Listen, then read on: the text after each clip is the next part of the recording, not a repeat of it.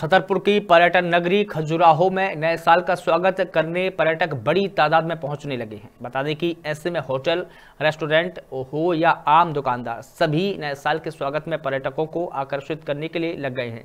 वहीं special package के तहत सभी होटल व्यवसायी पर्यटकों को आकर्षित कर रहे हैं और पर्यटक भी इन होटलों में आकर्षित हो रहे हैं।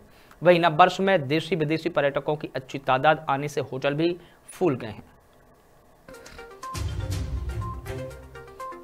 खजुराहो से बोल रहा हूँ। मेरा क्या है, यहाँ पे व्यवसाय से जुड़े हुए हैं, पार्टन व्यवसाय से, और हम लोग इसकी तैयारी भी बहुत धूमधाम से की है। और इस समय बहुत सारे विदेशी पर्यटक और देसी पर्यटक आ रहे हैं, जो न्यू ईयर का लुफ्त उठाएँगे यहाँ पे।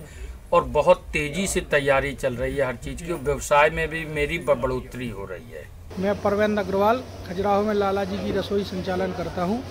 हर वर्ष की भांति इस वर्ष भी हमने नए वर्ष का इंतज़ाम इधर पे रखा है। क्योंकि देसी और विदेशी पर्यटक खजुराहो आते हैं तो नए वर्ष को मनाने के लिए हमने उनका ये काफ़ी इंतज़ाम रखा है।